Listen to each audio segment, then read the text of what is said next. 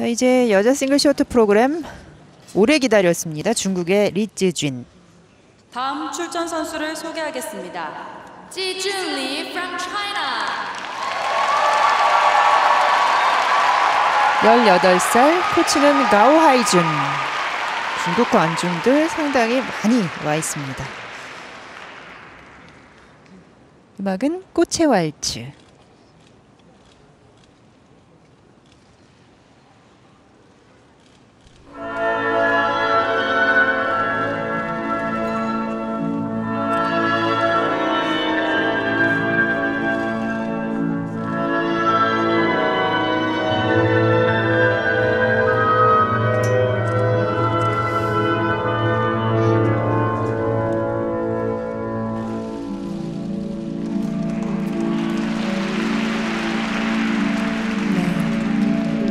3회전, 2회전 컨비네이션 점프.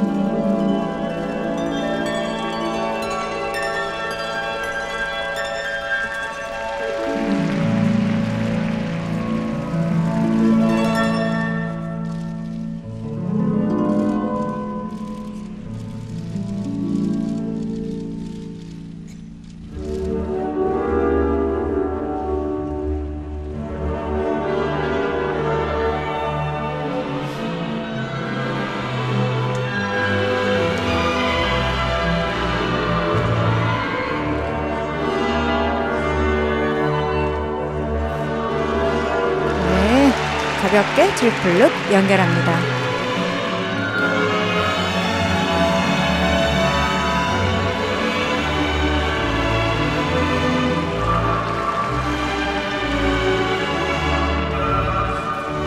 네, 스파이럴과 턴 이후 난이도 높은 더블 악셀을 연결하네요.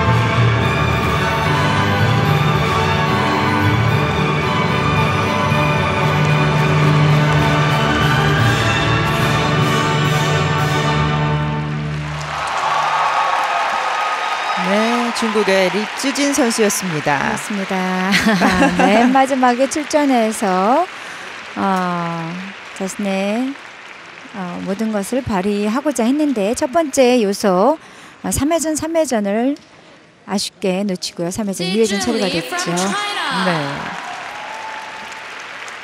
네, 오늘 컨디션이 상당히 좋았는데 다소 아쉽게 됐습니다. 작년 이 대회에서도 어, 좋은 연기로 개인 기록으로 어, 수- 개인 기록 수립하면서 2위를 기록한 바 있는데요.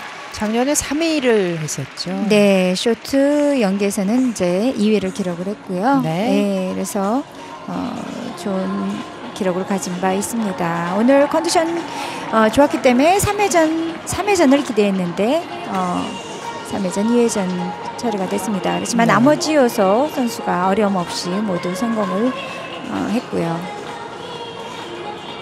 그랑프리 대회 컵 오브 차이나에서 12, 아 6위였군요. 또 NHK 트로피 7위를 했었는데요.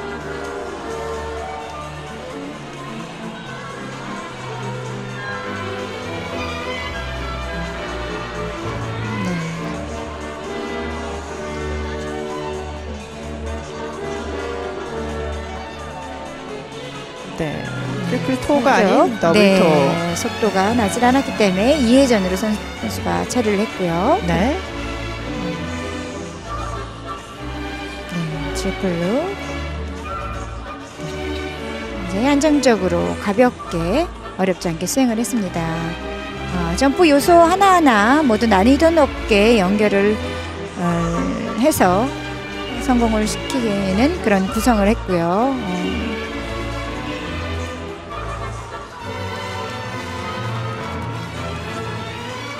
마지막 layback 요소였죠. 스핀, 네, 자세가 상당히 유연하고 아름답죠. 어, 같은 layback 스핀이라도 저런 그 난이도 높은 layback 자세를 수행한다는 건 상당히 어려운 일이고 또 좋은 평가를 받아야만 합니다.